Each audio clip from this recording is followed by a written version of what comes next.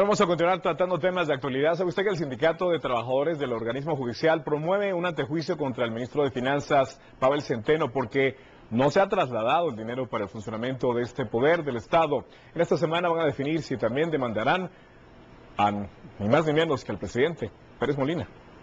El antejuicio planteado en contra del ministro de Finanzas es porque se dejó de trasladar al organismo judicial 79.286.000 quetzales correspondientes a su presupuesto. Lo cual eh, perjudica al organismo judicial y también atenta en contra de la seguridad del salario y las prestaciones con las que gozan los trabajadores del organismo judicial, pues el informe financiero también revela déficit por esa falta de, de, cumplimiento de la ley de presupuesto. Anticipando que los trabajadores del organismo judicial, 8.800 en total, podrían correr el riesgo de no recibir un diferido que se paga en junio ni el bono 14. También se está analizando y se va a tomar decisión referente a poder plantear un amparo en contra del presidente de la República toda vez que él es mancomunadamente responsable con sus ministros, pues él preside el gabinete de ministros. Será el viernes cuando se decida en reunión de comité ejecutivo si involucrar al presidente Pérez Molina o no, a quien culparían de violación a la Constitución, mientras que Pavel Centeno, según la decisión del comité,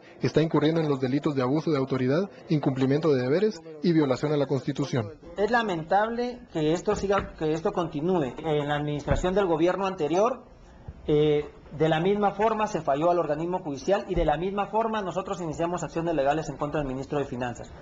Ese proceso aún sigue en trámite. Por una Guatemala en paz, Pablo Palomino y José Orellana.